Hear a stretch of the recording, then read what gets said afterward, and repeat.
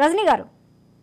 టోటల్గా రాజకీయాలు ఏపీ రాజకీయాలన్నీ కూడా ప్రస్తుతం కాపు ఓటర్లు ఎవరైతే ఉన్నారో వారి చుట్టూ తిరుగుతుంది. కాపు సామాజిక వర్గాల మీద ప్రత్యేకంగా ఫోకస్ పెడుతున్నారు. నిన్న మొన్నటి వరకు ముద్రగడ జన ముద్రగడ జనసేన నాయకులని కలిశారు అలాగే టీడీపీ నాయకులను కూడా కలుస్తూ ఉన్నారు. మొత్తానికి చూస్తున్నట్లయితే నిన్న మొన్నటి వరకు వైసీపీలో జాయిన్ అవుతారు జాయిన్ అవుతారు అంటూ కూడా ఒక ఊహాగానాలు వినిపించినప్పటికీ ముద్రగడ సెకండ్ ఇన్నింగ్ ఏ విధంగా ఉండబోతుంది అనేది ప్రస్తుతం అయితే రాజకీయ వర్గాల్లో సంచలనంగా మారిందని చెప్పాలి. అయితే ఈ నేపథ్యంలో ఆయన జనసేన అధినేత పవన్ కళ్యాణ్ కలవటం కానీ టీడీపీ అధినేతలను కలవటం కానీ చర్చనీయాంశం ఇది. అసలు ముద్రగడ ఎందుకు కలిశారు ఎప్పుడు పార్టీలో జాయిన్ అవబోతున్నారా దానికి సంబంధించిన సంకేతాలు ఏమైనా ఉన్నాయంటారు? మేడం ముఖ్యంగా పార్టీ నుంచి మాకు వచ్చిన సమాచారం అయితే నిన్నటి రోజు అంబటి రాయుడు గారు కలిశారు పవన్ కళ్యాణ్ గారు సానుకూలంగా పలకరించారు స్పందించారు అనేది మీడియా ముఖంగా బయటకు వచ్చింది. ముద్రగడ గారి గురించి ఇప్పుడే నేను పార్టీ ఆఫీస్కి ఫోన్ చేశాను. సార్ ఆయన పార్టీలోకి రాబోతున్నారా? మన పార్టీలోంచి ఏమైనా చర్చలు జరుగుతున్నాయా? లేకపోతే ఆయన ఏమన్నా కబురు చేశారా? లేకపోతే మనం ఏమన్నా కబురు చేపించామంటే అటువంటి విషయ సమాచారం ఇంకనూ ఏమీ రాలేదమ్మా. అది సో ముద్రగడ రావడం అనేది కూడా ఒక పెద్ద టాస్క్.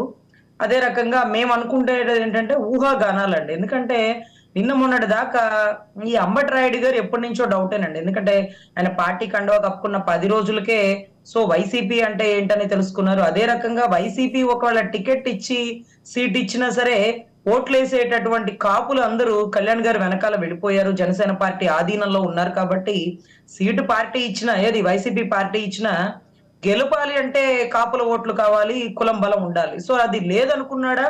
లేకపోతే పార్టీలో పవన్ కళ్యాణ్ గారి ఆదర్శ భావాలు అభ్యుదయ భావాలు నచ్చి వచ్చాడా?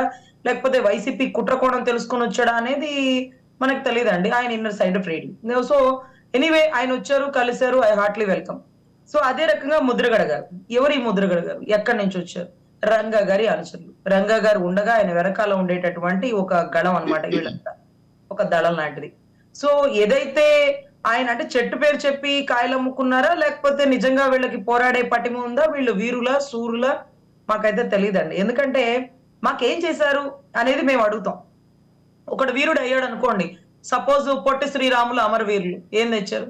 ఆంధ్ర రాష్ట్రం తీసుకొచ్చారు. మరి మా ముద్రగడ బాబాయ్ గారు ఏం తెచ్చారో మాకైతే తెలియదు సరే కాపు రిజర్వేషన్ గురించి పోరాడారు. స్వాతంత్ర ఉద్యమం కోసం మహాత్మా గాంధీ గారు కూడా పోరాడండి. వచ్చే వరకు పోరాడారు. వచ్చిన వరకు మరి వీరు ఎందుకు మధ్యలో ఆపేశారు? ఇబ్బందులు ఉంటాయి ఇబ్బందులు లేకపోతే ఉద్యమం ఎందుకు అవుతుంది? అవతల వాడు బూతులు తిడతాడు కుటుంబాన్ని తిడతాడు అడ్డగిస్తాడు ఆపుతాడు. నీకు పటిమ ఉంది కదా. నువ్వు ఆపకూడదు కదా. నువ్వు చివరి వరకు రిజర్వేషన్ గురించి పోరాడి ఉండాలి కదా. బహుశా పోరాడాలి కానీ రజనీ గారు. కానీ రజనీ గారు? ఇప్పుడున్న రజనీ గారు కానీ ఇప్పుడున్న ఇప్పుడున్న నేతలలో కానీ ఇప్పుడున్న నాయకుల్లో కానీ కాపుల కోసం పోరాటాలు చేసి ఉద్యమాలను నడిపించిన నాయకులైతే ముద్రగడలాగా ఇతనున్నారని చూపించడానికి మరొక వ్యక్తి లేరు అన్నది వాస్తవం. దాన్ని ఎవరైనా సరే ఒప్పుకోవాల్సిందే. ఆ, ఉద్యమ నేతగా ఆయనకంటూ ఒక ప్రత్యేకమైన స్థానం ఉంది. అలాంటి ముద్రగడ ఏం చేశారు? మధ్యలోనే ఉద్యమాన్ని ఆపేసినప్పటికీ కొన్ని పరిస్థితుల కారణాల వల్ల ఆయనకున్న ఫేమ్ ఏదైతే ఉందో అది కంటిన్యూ అవుతుంది. కొంతలో కొంతైనా సరే కంటిన్యూ అవుతుంది. కాదంటారా? కంటిన్యూ అయితే మరి ఆయన పోటీ చేసిన స్థానాల్లో ఆయన ఎందుకు ఓడిపోయారు? ఆ వంగ గీత గారి మీద ఎందుకు ఓడిపోయారు?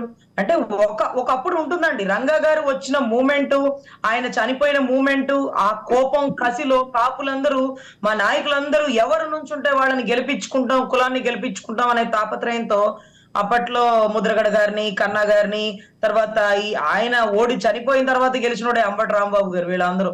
సో కులం పేరు చెప్పి కాయలు అమ్ముకున్న వాళ్ళు వీళ్ళందరూ అప్పుడప్పుడు రంగ గారి బొమ్మ వేసినప్పుడు వీళ్ళు ఖచ్చితంగా చెప్పుకుంటారు. ఆయన ఆదర్శాలతో ముందుకెళ్తాం. ఆయన వల్లే మేము ఎమ్మెల్యే వాళ్ళని కూడా చెప్పుకుంటారు. ఎందుకంటే అది వాళ్ళ విజ్ఞత. సో ఈ రకంగా ఏం చేశారా ఏం చేయలేదా కాదండి.